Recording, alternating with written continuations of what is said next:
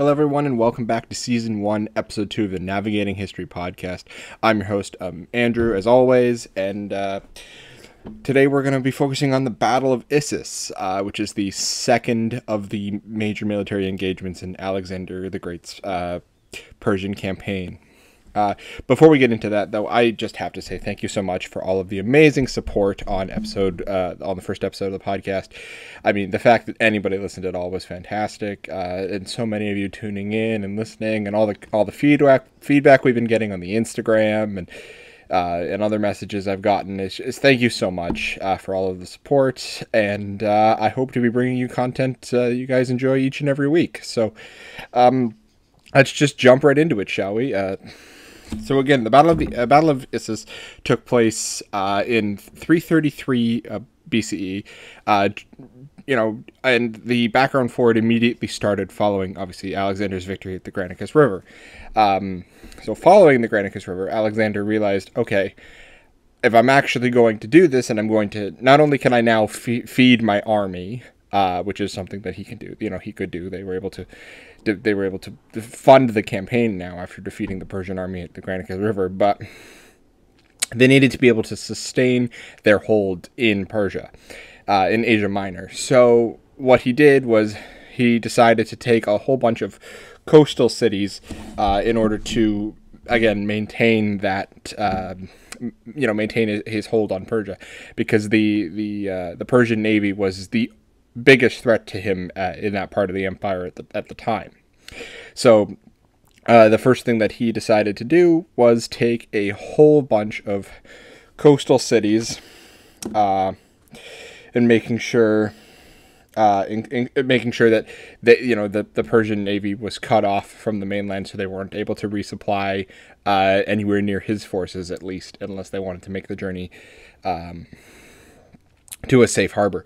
Uh, so Alexander uh, captured uh, cities such as uh, Miletus and uh, Halicarnassus. Uh, I apologize if I'm butchering the pronunciations. Uh, obviously, I'm I'm not Greek, so or, or, Persian, so I'm not I'm not exactly you know the best at pronunciation. But anyway, he captured a whole whole bunch of Persian coastal cities, including Halicarnassus there and again was able to sort of establish a foothold in in Persia, and he kept traveling um, east and uh, sent part of his army north again, looking and capturing more settlements uh, and more cities in, in, in Persia, and then in 333 BCE, after this uh, after he had uh, you know captured these settlements yeah, while while Alexander's army was camp, uh, camped in Tar- the city of Tarsus, uh, he re- started to receive word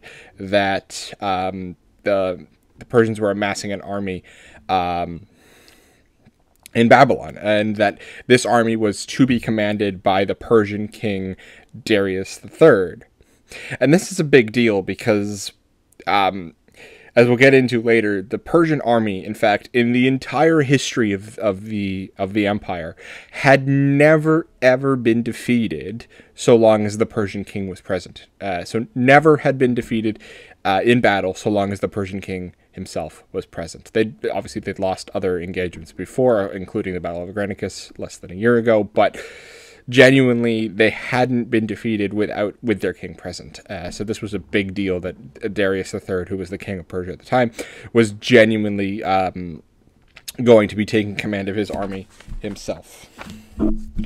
Um, so Alexander realizing that okay, this is a big deal now. That uh, you know, not necessarily realizing this is a big deal, but you know, okay, I've got to do something about this. Um, so he decided to send uh, who is his second in command. You'll remember Parmenion from uh, my podcast on the Battle of the Granicus, and you may have heard his name before. Uh, you know, he, he, intended to send Parmenion to Issus, which was the closest town to where the scouts had reported that uh, Darius's forces were gathering, and basically told him that um, you, you know your your job is to hold Issus and the land surrounding it, so that uh, you know the the um, the Persians can't take it. So Alexander sends Parmenion to uh, sends Parmenion to Issus, and Darius uh, hears of this. Right, he obviously hears of this and reali- and realizes that Parmenion, while there, has sort of left a, a garrison in the city, uh, in the city of Issus, and then you know sort of camped uh, encamped around uh, the eastern path uh, towards the city of uh, Issus. Um, you know, um, and and sort of tried to block off uh, Darius's route into into the city of Issus, which was the best way to resupply. Um, you know, it was, it was, a great area for resupply for the for the um, for the Macedonian and, and Macedonian army. And as you can tell, I'm new at this because there's something I forgot to mention. Um, when I say Macedonian, it wasn't just the Macedonians that were involved in the campaign in Asia Minor. Um, it was the entire Hellenic League uh, that was involved. Uh, so armies and you know uh, members of the Hellenic League were all involved uh, in in this. And you know you may be asking, okay, what is the Hellenic League? The Hellenic League uh, was initially formed in the 5th century BC uh, to deal with the Persian invasion um, of, of Greece. You know, a few hundred years, uh, or, uh, you know, just over a hundred or so years before Alexander uh, Alexander formed it, uh, helped form it again. and then it was rekindled and renamed the League of Corinth. in histor- like historians renamed it the League of Corinth uh, officially because of the the, fir- the first uh, conference took place in Corinth, but it was formed by Philip of Macedon uh, after he was again urged to re- reunite Greece against the Persians again uh, when they were sort of uh, raiding Macedon occasionally and. They thought that uh, many of the Greek officials thought that there might be a, a larger threat at play. this was in 338 BCE, so about five years before the Battle of Issus and um, again, uh, you know, once Alexander took over, he was then put in charge of the Hellenic League as well. Um, so, uh, yeah. So when I say Macedonians, I don't just mean uh, Greeks from specifically the Mas- from the uh, country of Macedon. I mean members of all of the Greek states within the Hellenic League uh, that that could have been involved. Um, in fact, it, at the Battle of Issus, Alexander specifically had Thessalian cavalry uh, with him. Um, anyway, moving moving back to the the uh, main main point after my little side tangent there about the Hellenic League. Uh, if people want as well, I can do a uh, full podcast on the Hellenic League at some point as, uh, as well. But for now, basically just know that there was a Greek alliance against the Persians, and Alexander was the, the head of this alliance and the, its primary commander. Um, so our Parmenion's encamped outside of Issus, and Darius uh, Darius's scouts see this, and they realize that okay, he's encamped um, from the east, so he's taken the easiest route uh, away from us. So if we're going to get to the city without engaging him, um, we're going to take the north road. Um, we're going to take the, the north road to Issus and avoid the, the Greeks entirely. Um, which Darius does, and because of this, you know, Parmenion isn't aware that he's done this, and he takes and he takes the city of Issus, where in fact he, you know, kills not only kills the Macedonian garrison, but any sick or wounded uh, that were that were present. So any troops that Alexander's forces had left behind, uh, he takes actually cuts off their hands and like he he tortures them. It wasn't just you know killing people that you know, killing people in battle. It was very much a almost sadistic, necess- not necessarily, uh, not like it was unneeded violence against the Greeks for the ret- and it was a you know taken as retribution for what happened at the Granicus River. Um, mainly, um, yeah. So mainly it was it was it was a gruesome, gruesome act by by the uh, uh, Persian king here, and. Um, yeah, so Alexander had at this point had met up with Parmenion uh, outside of Issus, and again had then realized that um, had then realized that Darius had taken the city, um, and Darius didn't realize that um, the uh, two uh, Greek forces had, you know, reco- uh, re- re- recoalesced or had you know uh, connected once again, and he re- he thought that there were still two armies, realizing that they had split initially. Uh, so he actually vacated the city of Issus with his army uh, in search of the uh, quote unquote uh, you know lesser of the Macedonian forces. Um, of the you know thinking that the Macedonian army had been cut primarily, not necessarily in half, but that there was a you know a side that had fewer numbers and that he was going to attack them first. You know, this is a good this is this would be a good strategy, but you know if you don't know exactly what's going on, it's probably not a good idea to to leave a fortified position. And of course, he thought this is what happened, but uh, somehow Alexander had been had managed to meet up with Parmenion, and that the Greek fo- forces were now again whole. Um, so um, Alexander realizes, and you know, uh, his scouts tell him that um, Darius has left the city of Issus, and Alexander, not wanting to, um, you know, not wanting to leave a Persian army behind him. Uh, when he goes and you know delves deeper into the into the Persian Empire, decides okay, we need to deal with this. So um, Dar- Darius is taken off north, looking for that second, uh, you know, Greek army, and then realize, and then Alexander decides to follow him um, and shadow him as he heads north to deal with him eventually. Um, and then, it, so eventually, uh, Darius finds out that he was wrong and that there aren't two Greek armies and realizes that, oh crap, I'm going to have to deal with all of them at once.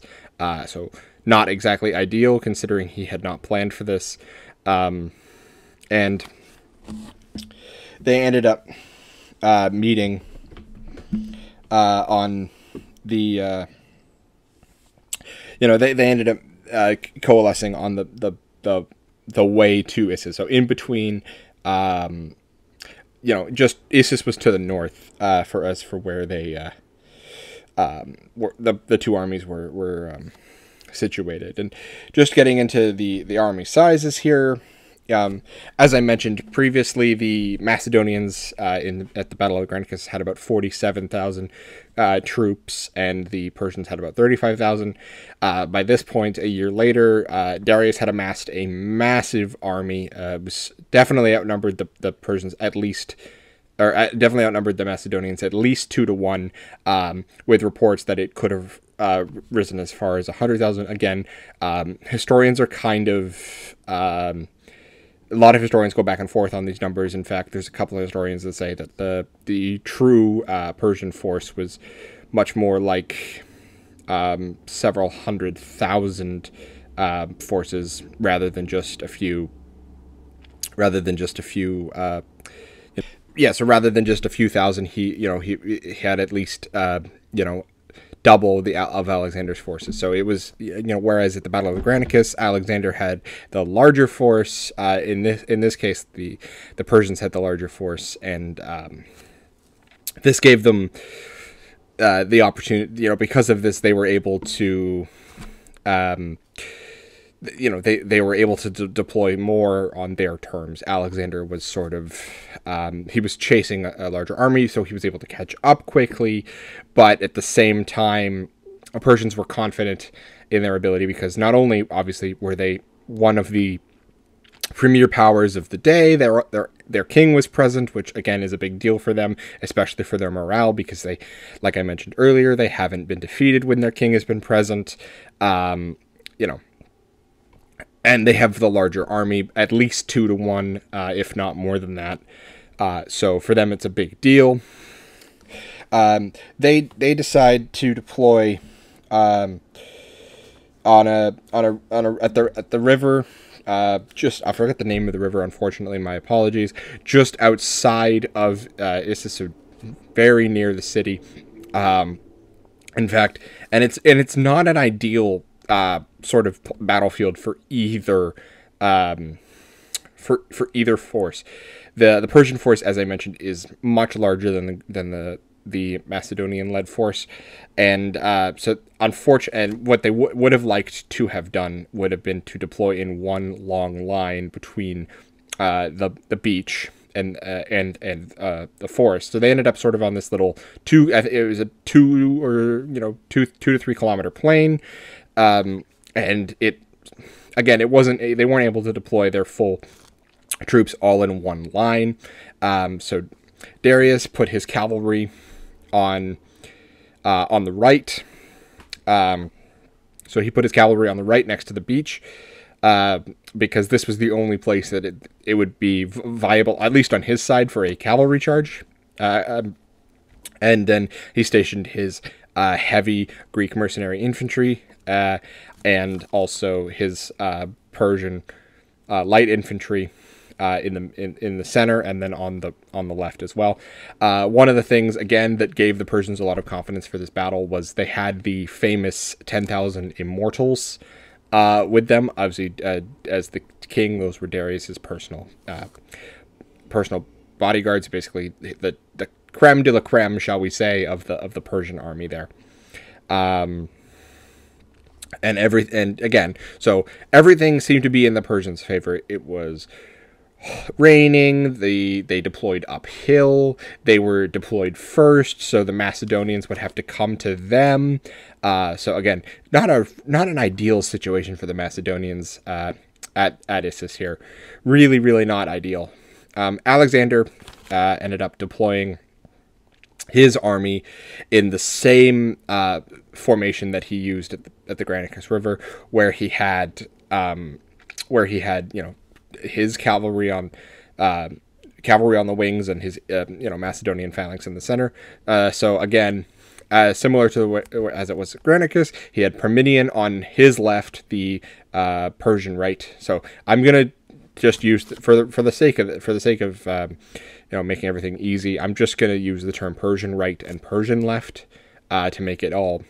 Um, make sense rather than flip flopping back and forth between Macedonian right, Macedonian left, Persian right, and Persian left. So, um, the uh, Thessalian uh, cavalry that I mentioned earlier, uh, the allied, caval- uh, allied Thessalian cavalry under the command of Parmenion Alexander II was on the Persian uh, was on the Persian left, and Alexander himself was stationed sorry, it was on the Persian right. My apologies. And Alexander himself was stationed on uh, the Persian left on the other side, uh, leading the the companion Macedonian cavalry with the Macedonian uh, phalanx in the middle. Uh, so the battle kicked off. Um, the battle kicked off with the Persians making the first move. Unlike at the Battle of Granicus, where Alexander made the first move, the Persians uh, the Persians decided that they were going to make the first move this time and not give Alexander this opportunity. Now, personally, again, I don't think this was the best strategy, but I'm not a military commander, so who am I to really say? I have studied a lot of military history just out of personal interest, but you know, it, it, it didn't make sense for them to leave a relatively fortified position. Again, they were they could possibly have been overconfident due to the factors we mentioned before, with their their king being there, uh, the fact that they had, you know the Persian cavalry were widely considered the best cavalry of the day. Um, Persian infantry weren't as heavy in terms of their infantry as I mentioned in um, last week's episode. The Persian infantry weren't as heavy infantry, but they were still good. But the Persian cavalry uh, was the elite cavalry of the day. The Macedonian cavalry were elite as well, but the they were not only were they taken from the elite of the Macedonians, they were they were elite cavalry, of course. They were you know they ended up you know they, they are extremely well known but the persian cavalry was widely considered the best cavalry unit of the day and um, as you'll see in this battle and obviously in many battles throughout ancient history cavalry is the key to winning ancient battles. Infantry soldiers are great and they do a lot of good things, but unless you're the Romans, pretty much, cavalry won the day most of the time in the ancient world, where cavalry was involved in the skirmishes.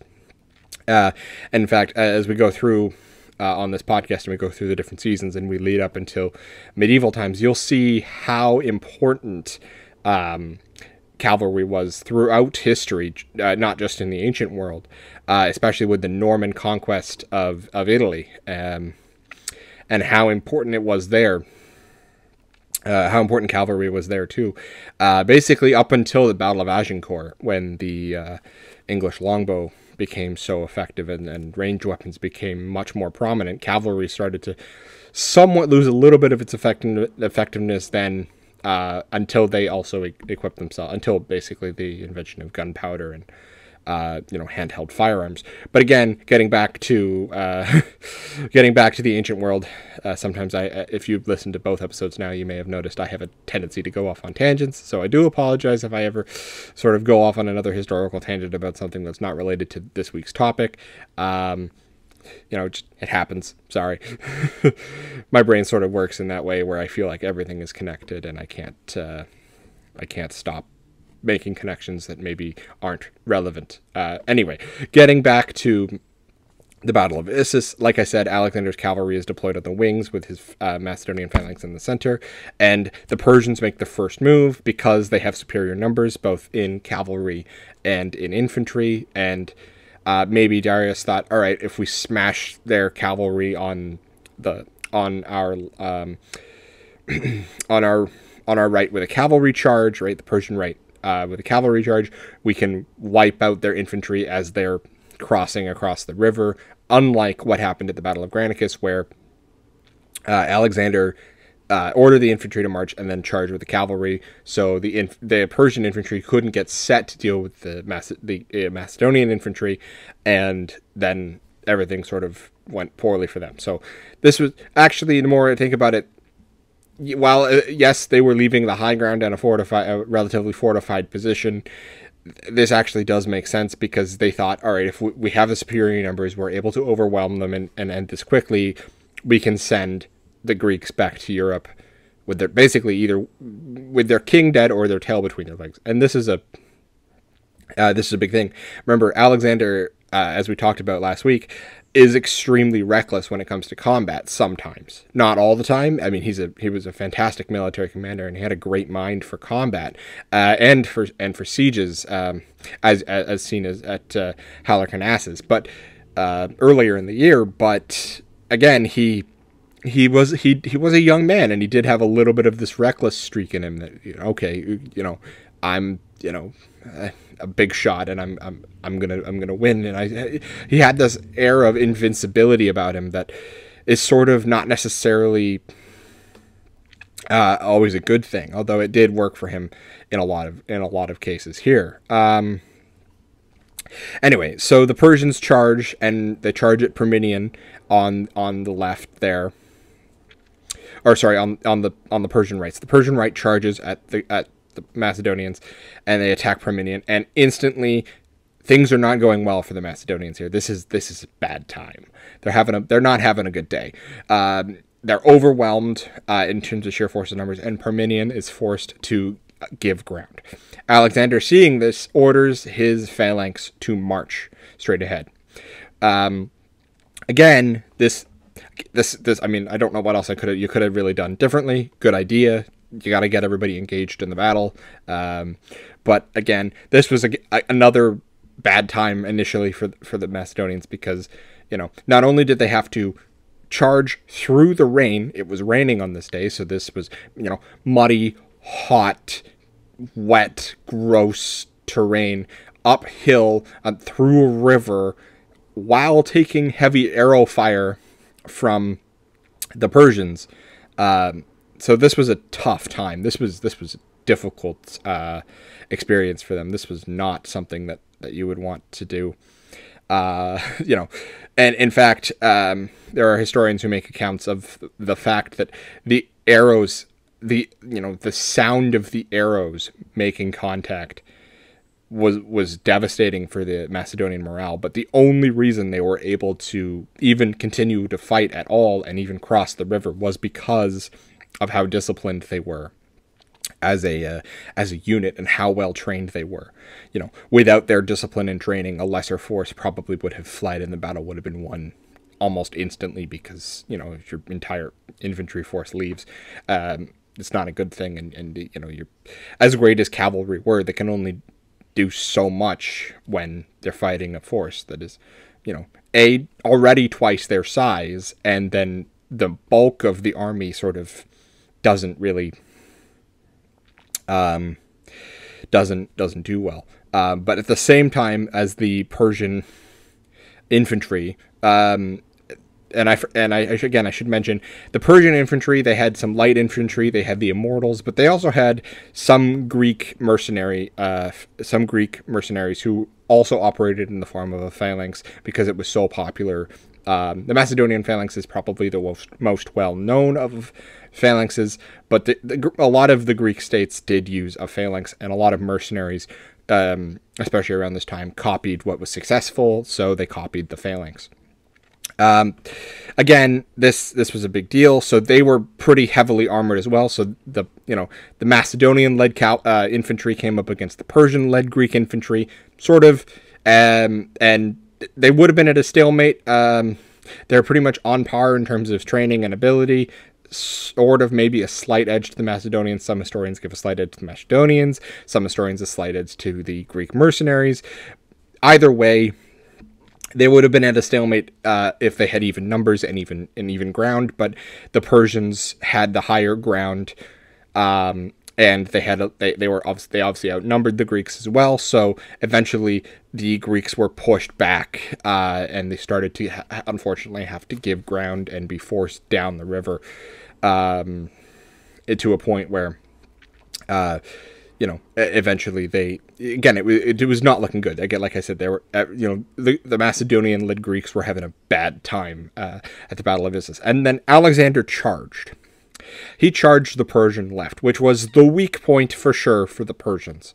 Um, you know, Darius had set himself up in the middle uh, with his immortals and the strongest of the um, Greek mercenary cavalry, the uh, Greek mercenary infantry, pardon me, so Darius was in the strongest position, uh, but his left was kind of weak. So the Persian left was kind of weak, not necessarily weak, but weak compared to the other aspects of the other uh, sort of sides of the Persian army. So in, compared to the center and compared to the, the the middle, they were weak to a cavalry charge. And this is where the effectiveness of cavalry comes into play because, again, Alexander is able to charge across the river and instantly have a severe impact on the on the Persian left. He he basically demolishes his um, demolishes the infantry on the Persian left, right? And this this again, these were these weren't heavy heavy infantry, at least not all of them, with um, you know the, the extremely long Sarissa pikes that that were effect that would be effective against cavalry because you're able to because you have that extra reach, but still they were able to smash into the Persian left and do severe damage all the the way to the point where they were able to rout the Persian left and eventually uh, win that flank of the battle. Uh, whereas they were losing the battle in on on the Persian right and in the center. On the Persian left, Alexander's forces were able to win. The companion cavalry ended up winning the winning that part of the battle. Had already had won that part of the battle initially. So once that had been won, Alexander was able to see what was happening uh, more clearly and see, okay, this is bad. Our our dudes are getting crushed here. We're having a bad we're having a bad day. We're not winning. Like our our guys are getting overwhelmed because of the superior numbers. Okay, what am I going to do? Right? And he's he's assessing his options, realizing that the Persian uh, Persian rear is basically undefended. Right? They don't really have a baggage train because the two armies sort of marched to meet each other and were hoping to resupply at Issus and to sort of take the city and resupply that way. Um, and I forgot to mention this earlier, but when Darius captured Issus, it was kind of a big deal um, initially for the the Macedonians because Issus was a big supply port for them, especially along the coast because of how uh, you know thin thinly spread out they their their resources were not necessarily their their soldiers, but the the resources that you know food supplies, support, uh, you know, support. I want to say support staff, but you know, um, baggage train, any any camp followers, anything like that.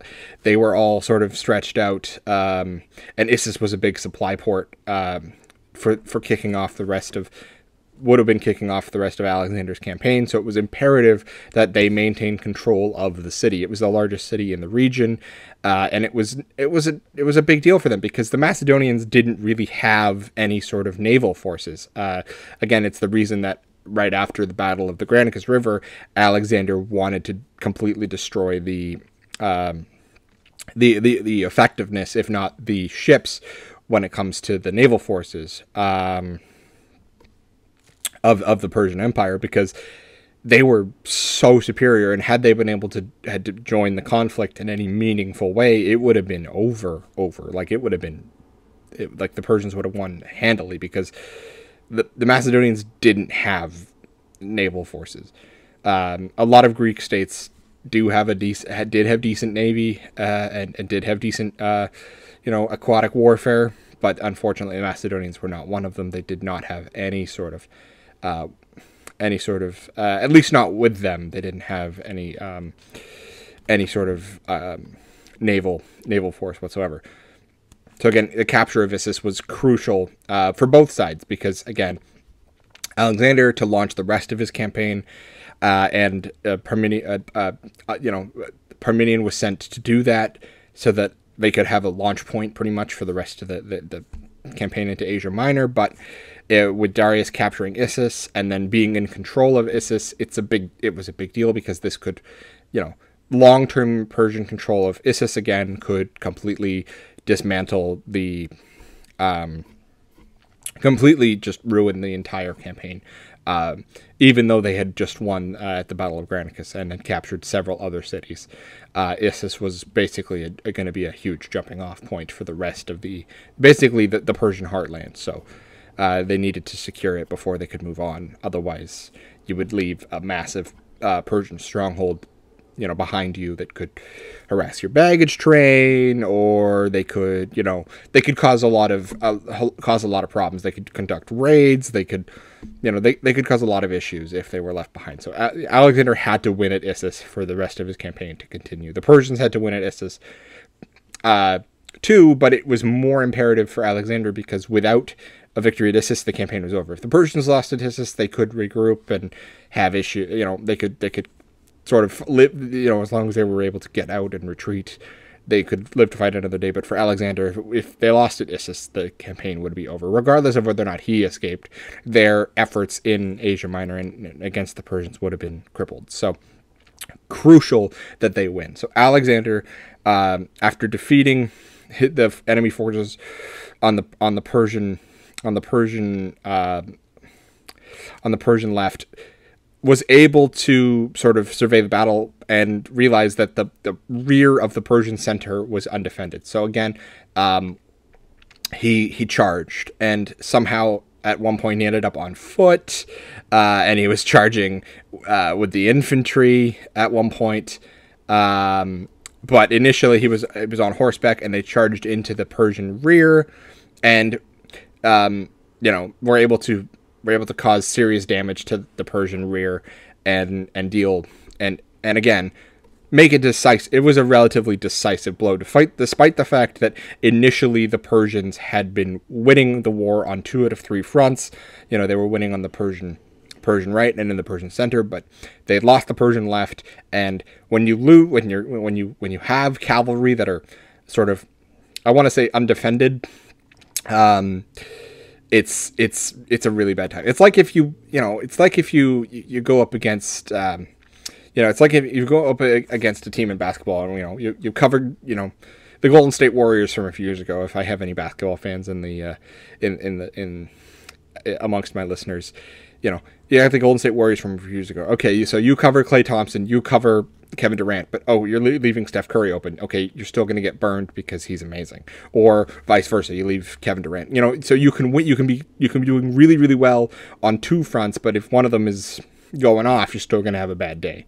Uh, right? You know, Steph Curry can drop 50 points and Durant can have 12, and the Warriors would, st- would still win. But and this sort of works like that. You know, the, the Persians were winning on two fronts. Uh, they were they were going to win on both fronts. They were going to win. In fact, um, I'll get into it in a second, but they were going to win. They they they had they were dominating. They wasn't just like close. The the the Greeks were retreating. They were giving ground. Uh, they were you know one of the things that happened is in the Persian center, uh, at the center of the battle, because of the you know barrage of arrow fire that the Macedonian cavalry uh, infantry suffered. Pardon me. They were were knocked out of their formation, right? And the big thing about the phalanx is we all move. They move as one unit, right? The phalanxes move as a unit, so that was a big deal. Without that, they were they were stranded, uh, and they were you know a lot easier for the, the intact, uh, you know, um, Persian infantry uh, to deal with. Uh, again, because of the Macedonian phalanx and their, their training and their discipline, they were able to sort of hold, but they did end up giving ground. Now, with Alexander's charge into the Persian rear, this all changed because now you have the Persian infantry surrounded, compacted, and surrounded by the cavalry, by the Macedonian cavalry here. So they, it, it, you know, it was it was a big deal. You're all boxed in and you're clumped together and you're easy, you know, it's you're right you're easy targets. You're right there for the picking. So you have and Alexander realized that he had a shot at the Persian king Darius. He had an opportunity to go after the Persian king and and actually completely wipe out wipe out the empire. Um uh, or not necessarily wipe out the empire, but you know, sort of cut the head off the snake, if you will. Um, so he charged with some of his best soldiers, and I think that this is where he sort of ended up on foot. He was charging with a lot of his infantry, and they were charging directly for the Persian king. And the Persian king was kind of like, "Oh shit, we should probably get out of here. You know, I should probably leave. This is not a good time. I want to get out of here." And he in his attempt to flee because of how boxed in they were with the, with the cavalry charge, he fled directly into the Greek merc- the, the rear of the Greek mercenaries, who then said, "Oh, the guy who's paying us to be here is leaving, so why should we get killed? Um, you know, why should why should we get killed when the person who's paying us is not going to be fighting, and you know, you know, we don't even know if we're going to get paid because we might be dead, so we got to leave." So they tried to leave as well, um, and in fact, the Persians on the Persian uh, on the on the Persian right who had actually won the day. Parmenion had lost. His his forces had been overrun and he was giving ground rapidly. Um, the, the Persians on the Persian right had won, and had they been able to disengage sooner, had Parmenion not held on as long, it could have been extremely horrible for the uh, for for the the uh, the Macedonian led coalition of Greeks because um, the Persians would have been able to do what Alexander did to them, which is swing around and attack from the rear. But on, uh, you know, luckily the uh, Thessalian cavalry under the command of Parmenion were able to hold out and sort of keep the Persian cavalry on the on keep the Persian cavalry occupied enough that they weren't a factor in the rest of the battle. And then when they saw that everybody else was sort of fleeing, including their king, um, including their their king, who, you know, as I mentioned before, when the king was present, they had never ever lost a battle in the history of their entire empire. When they see the king leaving or fleeing, they it shattered the Persian morale. It it broke them, and it became a full on rout at that point, and, and the battle was over. Um, in fact, some of you may know about um, the Gordian knot, right? The you know this idea that there was this completely, um, this completely un, un, un. This knot was completely you know unsolvable. This problem was unsolvable, uh, and the, the person who would solve it would become the you know the legend was the person who would solve it would become king of Persia, uh, and um, Alexander sort of, when he was staying in Gordion, just cut it in half with his sword, just sort of hacked it in two and was like, all right, cool, I solved it. You know, can't believe no one thought of this before, kind of thing. Again, this is just a legend, but it just sort of adds to the mythos that surrounded Alexander after this battle and how what a like a great victory this was for the for for the, the, the Macedonian Greeks, led Greeks, because it's so important um, for the rest of his campaign. It sort of solidified him as a as a good as a good military commander, not just as somebody who sort of got lucky uh, and won, as sort of is what happened at the Battle of Granicus River. You know, Alexander got lucky a couple of times, and because they had the superior numbers, they and you know they had the superior infantry, they were able to win. But genuinely, in in in this battle, this is the first time where you see Alexander make smart tactical decisions on this campaign. This is the first battle of is is the first battle where you really see Alexander make like well developed and well informed tactical decisions. You know, the other at the Battle of Granicus, he yes, he makes some he obviously makes tactical decisions, but there's an argument to be made that his tactical decisions weren't the correct ones. Here he makes all of the right moves. You know, he engages the infantry so that they're distracted uh, at least. Um, you know, he puts his most loyal follower at the time in terms of, in terms of like of the, Macedonian nobility in Parmenion and his most experienced general in charge of the allied cavalry, which you know is is important because if you know they weren't if they had a, a sort of a lesser commander maybe um, commanding them, they would have had it would have been a lot easier for them to break off when they were first engaged and sort of maybe flee the battle. And then again, like I mentioned, the Persian cavalry, which were the cavalry of the premier cavalry of the day, could have possibly done what Alexander did when he smashed through the Persian left. Um, but because they were they had such an experienced commander under Parmenion, they were able to they were able to have they were able to hold out long enough so that you know the the rest of the Macedonian army and the rest of the Macedonian war machine could actually do what it was trained to do, and they would end up they could end up winning, despite the fact that the the Persians had you know vastly superior numbers as well, and and this is again this is part of what added to this whole mythos of Alexander the Great being this almost unkillable like unbeatable like god of war almost was this like, okay, outnumbered two to one, crappy weather, bad terrain, bad spot, you know, better forces on the other side, better equipped. The other forces are better equipped, better, um, you know, they better everything. The Persian king is there, who and they've never lost a battle when their king is involved. Uh, not just Darius Third, who was the king at the time, but any Persian king had never ever lost a battle ever, as long as the king was present at the battle.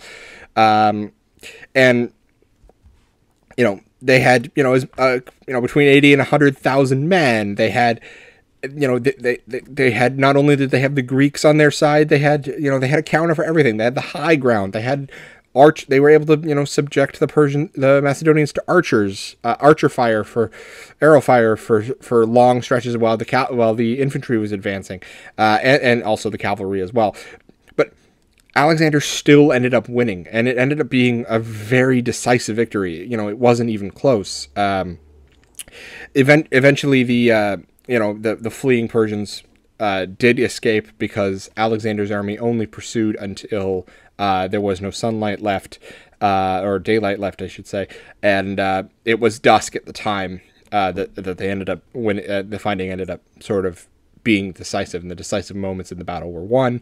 It was dusk, so they didn't have a lot of time to pursue. But had it gone on longer, they definitely could have. Um, they definitely could have, uh, you know, inflicted more damage. As it was, the Persians suffered twenty thousand uh, casualties, uh, which was like insane for the time. A lot of carnage sort of ensued after the battle and that's where they suffered most of their casualties was was on that retreat and everyone trying to escape and sort of being boxed in by the Macedonians. Macedonians themselves ended up losing 7,000 men uh, out of the initial roughly 40,000 that they had. Um, and most of that was lost in the initial sort of connection or initial uh, conflict between the two uh, in, uh, forces of infantry and, and the fact that they were outnumbered in, in that department and that the Persians had a lot more uh, firepower when it came to that, uh, when it came to the infantry. But again, this was such a huge, this was such a huge battle, not just for the fact that it allowed Alexander and the Macedonians to continue their campaign in Persia, but because it it built the mythos and the legend that is Alexander the Great. You know, before this, he was Alexander, the king of Macedon, who had won a battle a battle against a Persian force led by a Greek. Cool, like still successful, but like, and he and he'd captured a lot of territory, and he'd he'd won a siege. Cool, okay, still impressive, but there wasn't like there, you know, and he was starting to gain a, a, a really good reputation, but there wasn't a like mythos, a legend, a like you know, it wasn't as as mysterious and as legend legendary and as powerful uh, without you know without the Battle of Issus. If Alexander loses the Battle of Issus, not only could he have obviously even if he had managed to survive, but they lost. Obviously, the, their campaign, the rest of their campaign would probably have crumbled because Issus was a launching point for the rest of the campaign. But his legacy would have taken a massive hit, and Alexander's legacy began building with Issus. Right, obviously he was a very powerful, uh, you know, he was a very powerful person throughout the ancient worlds, and as well, uh, not just in Macedon, but the rest of the Greek states, being the, the head of the Hellenic League, later uh, coined the the you know the League of Corinth. Uh, he was a very powerful member of the of that part of the ancient world, but he his legend grew. The, the, that is the most important thing that happened at the Battle of Issus, other than obviously they were able to eh, continue their campaign. His legend started to become so cru- like so intertwined with the Macedonian army at this point that you know there are stories where in later battles where armies even not necessarily against the Persians but armies sort of just fall before him because they're like, well, it's the per it's uh, Macedonians and it's Alexander. Oh shit, we can't win. You know, it, it again this morale boost for his troops and the the morale you know the, the, sort of like destruction of the Persian morale at this battle was so huge both with Alexander building his legend of defeating the Persian king and the fact that the Persian king for the first time in all of history was defeated huge and th- this really marked the the end of Persian dominance in the region. This marked the the decline of Persian power. If you you know if you're doing a, a history of the Persian Empire, this is when the decline of it starts. You know, this this is when they start to lose because not only has Alexander now occupied a massive swath of territory where he has supply lines and he can resupply, and he's he's you know his his army is able to um, you know maintain itself and sustain itself. And you know not only do they have tr- troops but they, they're able they're able to feed those troops. Uh, you know if you remember from my last podcast the battle of granicus one of the big re- one of the big things was hey uh, memnon of rhodes was saying hey guys let's just you know go sort of the scorched earth tactic because they can't feed themselves well. Now alexander can afford to pay his he can afford to pay his soldiers. He can afford to feed his soldiers. So now his Persian campaign really, really, really sort of solidifies itself, right? Um, yes, before that he'd he'd been able to, um, you know, he'd been able to solidify holdings in Persia before Issus, but with Issus he really had a backbone to start building off of uh, for the rest of his campaigns into Persia, which we'll get into more next week. Um, as I mentioned off the top, this is season one, episode two. So uh, the way that this is going to work is there's going to be a couple of seasons um, so each season is going to be on focusing on a different topic. So season one is going to be on ancient Greece, and then um, when season one is wrapped up, uh, I'm going to have uh, there's going to be a vote on the Instagram. So if you're listening to this for the first time uh, and you have no idea what navigating history is, go follow the Instagram at navigating history on Instagram. Uh, all updates for the podcast, new episode releases, they'll be posted there.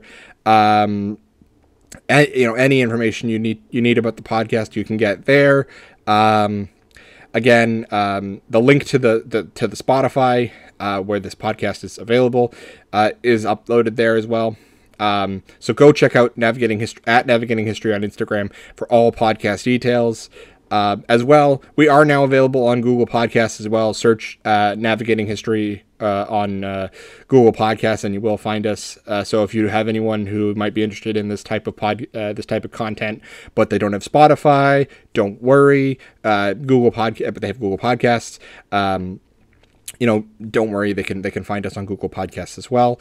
Um, working on getting. Um, working on on uh, getting us uh, available on app on Apple Music as well. But uh, for now, uh, that requires a su- subscription that I, I, don't really have the ability to pay for. But um, for now, again, Spotify, Google Podcasts, those are the best places to find us. Um, again, follow the Instagram at Navigating History, and the link to this to the Spotify will be there. If you don't have a Spotify account, but you're interested in, or if you have friends who don't have a Spotify account but are interested in getting one and they like this type of content, uh, obviously you can sign up for a free Spotify account. Uh, you just can't download the podcast. The only difference is that you'd have to, um, you know, you'd have to you'd have to stream it. You couldn't download it and listen to it offline. Uh, but it is free. It is available for free. So go check it out. Um, and you know recommend it to people who you think might like this type of content and uh, i'm only getting better in terms of this type of stuff so um, like i said this is episode two. This is the second type of this content that i've ever uh, created so I'm, I'm, learning as i go and, and getting better here so um, if, if there are any any sort of kinks to work out or any sort of uh, issues we'll we'll work them out as the episodes go along but the main thing to know is that you know there are going to be seasons. So season one is going to be on ancient Greece. So we're going to do a whole bunch of different topics from ancient Greece. Right now we're focusing on Alexander and his campaigns in Persia. Uh, and then maybe we'll focus on different. Uh, maybe we'll focus on the Spartans, or focus on Athens, or or the fall of Thebes, or yeah, what you know, a whole bunch of different things. So uh, again, season one is going to be on ancient Greece. So this has been season one, episode two of the Navigating History podcast. Thank you uh, to all those who've, uh, who've listened thus far for tuning in, and uh, hope to uh, you know see you guys again next week. Uh, bye for now.